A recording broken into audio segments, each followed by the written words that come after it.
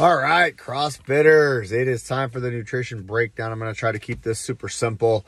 Um, it's a it's a very simple math problem, and when you can master this, you are now in control of your own destiny. So I do this manually for all of you guys. There's little nuances um, depending on the individual, the amount of training history they've had, the amount of actual muscle mass they have versus fat compared to body weight. So I put a breakdown in the email Ari's sending out, that's a starting point. You're not going to break yourself in this first two weeks to a month.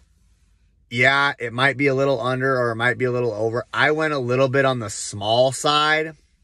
So I always do that. I learned that when we first started our six week challenges. Everybody's like, oh, this is like no food. But then when people start eating whole foods, it ends up being enough food and it's filling and it has a little bit of wiggle room that if you screw up or if you indulge, you're still under for total calories and you're still losing fat and it's enough food to feel full and you can build muscle and you're not miserable. Okay. So that's why if you feel like it's a little under, suck it up, especially if you've been eating like shit during the holidays.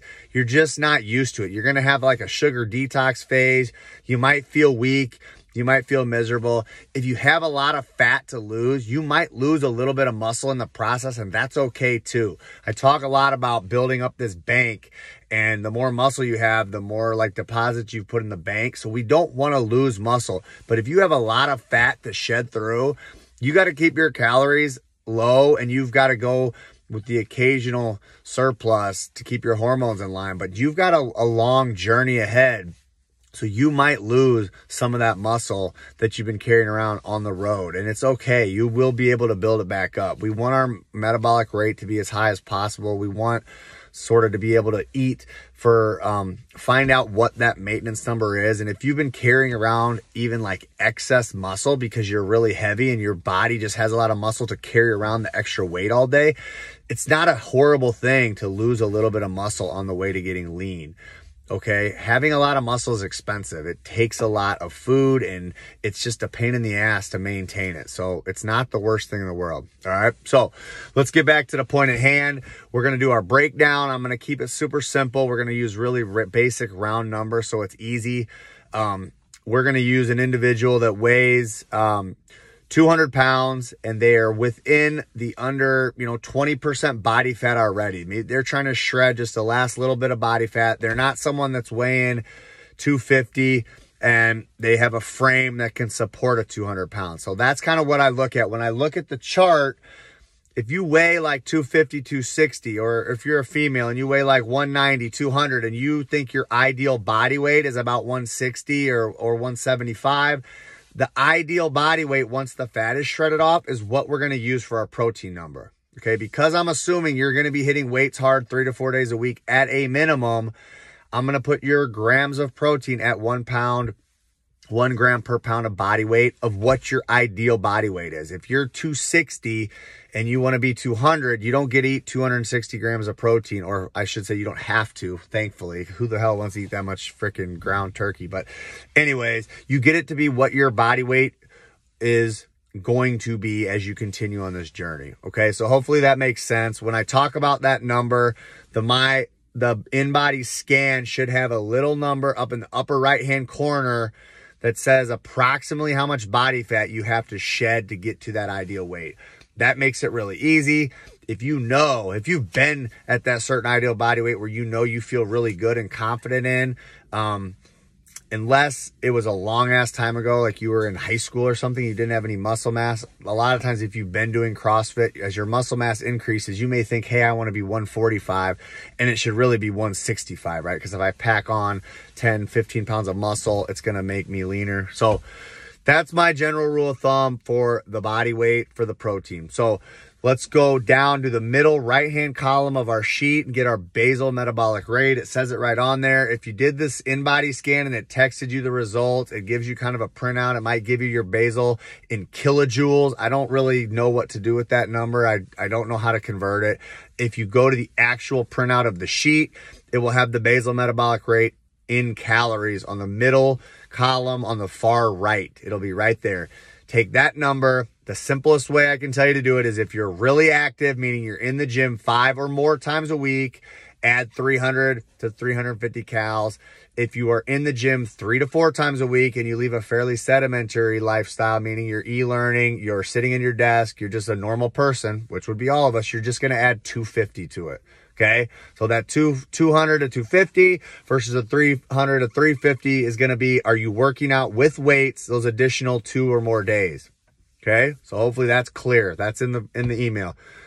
Once you have that base number, that is a very low end of a maintenance. If you probably hit that number, you could probably shed a little bit of fat and maintain your muscle. And that's going to be kind of like, hey, I'm happy where I'm at. I just want to tighten up. If you want to aggressively lose some fat, then we're going to cut that number by 500 calories a day. Okay, that's about the most we want to lose fat where we're trying to lose like maybe a pound of fat a week. So in a month, we might lose four pounds of fat, something like that. It's still a healthy zone, but it's going to be a little bit more aggressive on the fat loss. If you are one of those hyperactive people, like I had said, then don't take away quite as much. Just take away 400 calories, okay? Because I don't want you to take away too many of your calories for recovery if you're doing all this training. You're going to be ravenously hungry. So 500 or 400 subtracted. My base number, remember using round numbers, is my 200 pound man. He's 200 grams of protein. His kilocalories was 2000. We're just going to use 2000. So I'm dropping it down. He wants to shred up to 1600. So I took away, I want to lose this fat. I'm going to be super tight and lean. I'm in 200 grams of protein and I'm eating 1600 calories.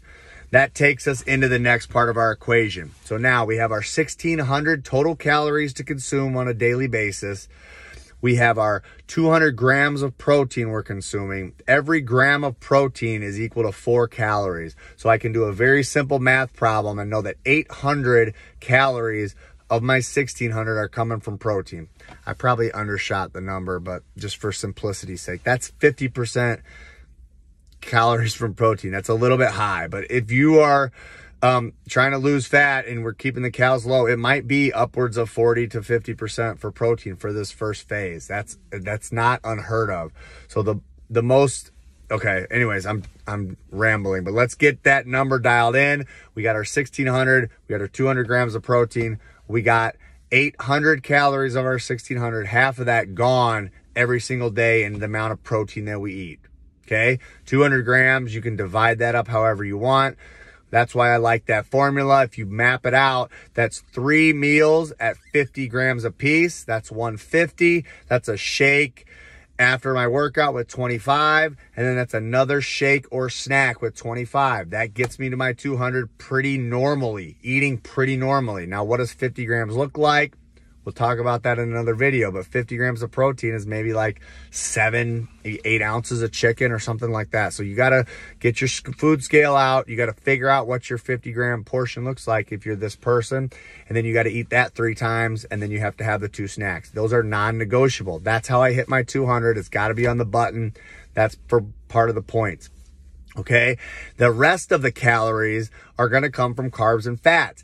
They're pretty much interchangeable. And that's why I'm not giving a specific as we first launched the gym, I was big into reducing inflammation, being healthy. I was big on a high fat diet. When you eat high fat and you eat a lot of vegetables, you don't really need a ton of carbs because you're using your fat as fuel.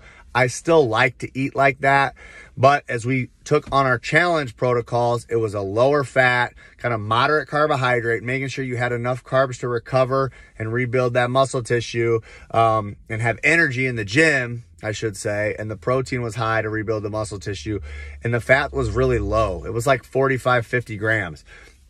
They both work because this is a numbers game. Remember, it's your budget. So this is where I'm giving you the tools and the flexibility to take control of how you like to eat and you're owning your shit. You're owning it. You're making it look like what you want to look like, that what you're going to stick with so you don't make excuses. If I like to eat a higher fat, if I want to throw some bacon in there for breakfast or something like that, if I want to eat like some sausage, if there's some more of a red meat, that's going to blow your fats up and you might have to eat more green vegetables and less carbs, less fruit, less starches because your fats are higher.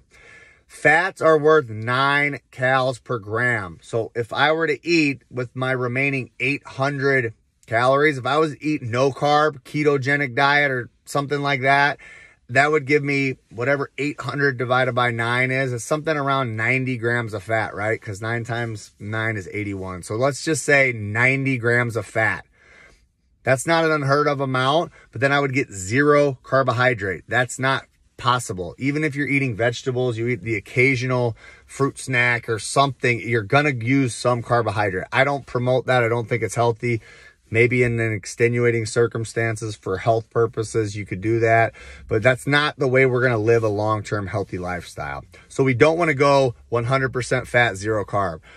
On the flip side, if I took that 800 calories and I did all carbs, carbs are worth four calories per gram. That would give me what 800 divided by four? 200 grams of carbs. 200 grams of carbs for a normal adult person that's actually not an unheard of amount and again this person is a little bit low on the calories and they have the protein is kind of high right because i'm just kind of made this example up but if i have 200 grams of carbs and i have zero fat that's not realistic either so we got to find that middle ground and that's where you guys can do your own calculations. So take my 800. I'm just going to use for a rule of thumb, I want to do about 150 grams of carbs, 150 grams of carbs for this person. That gives me 600 of my calories and then 200 remain. And I will divide 200 by nine. It's somewhere around like, it's like 30 grams of fat, not even because three times nine is 27. So it's maybe like 25 grams of fat, something like that.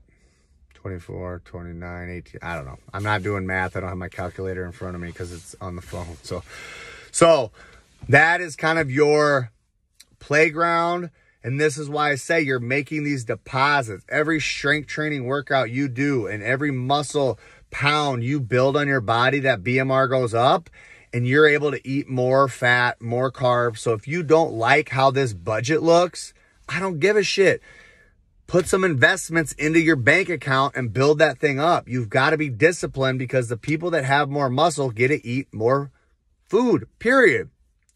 Period. Okay. There's no ifs, ands, or buts around it. We joke about it all the time when we're onboarding new people.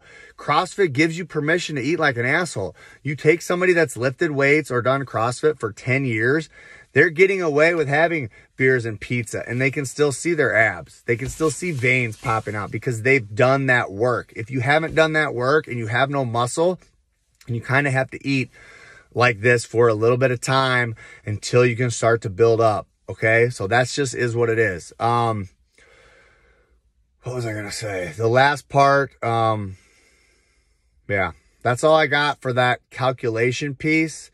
Um, hopefully that makes sense. Um, if you have any questions, hit up your team leader. It might look different for you, um, but that's what we're going to use for this first phase.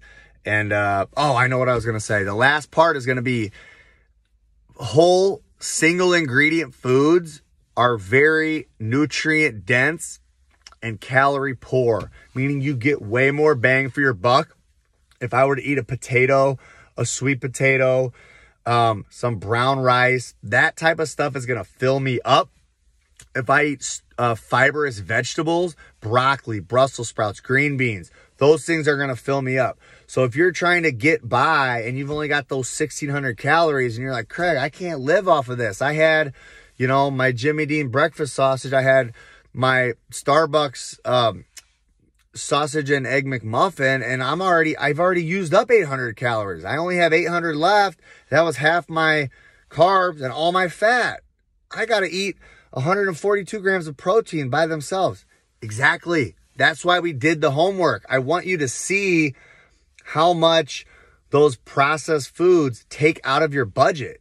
You can do it when you've built up the big budget, or you might be so unwilling to give up that delicious breakfast sandwich that then you're willing to eat three cans of tuna and a bunch of green leafy vegetables the rest of the day. And that works for you. Great. Find out what works for you and own it. If you can't go without something, take it out of the budget and see what's left and then do the required work.